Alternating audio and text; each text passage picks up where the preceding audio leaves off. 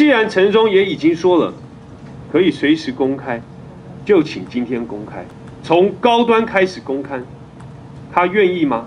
他敢吗？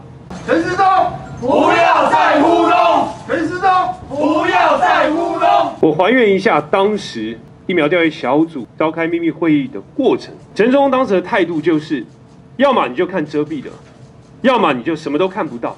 请问在野党有什么选择？原本认为遮蔽的部分就只有商业秘密，结果陈总你涂掉了三分之二的内容，这有什么意义？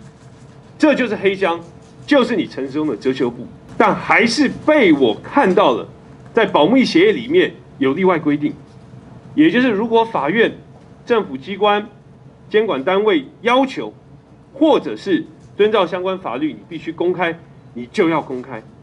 我当场也提出了质疑，陈松便支支吾吾、含混其辞带过，就是不愿还原当时未经遮蔽涂黑的合约。在那场秘密会议里头，他们提供了一些我们看到重要的资讯，全部都用马克笔涂上黑黑的一层，基本上大部分东西都被涂掉了。那看这个全部都是涂满黑色马克笔的合约，有什么意义呢？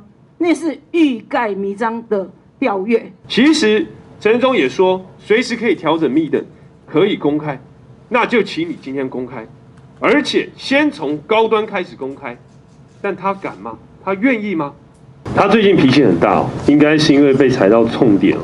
公开透明就是他的阿基里斯腱，所以只要谁提到他就会跳脚，口不择言。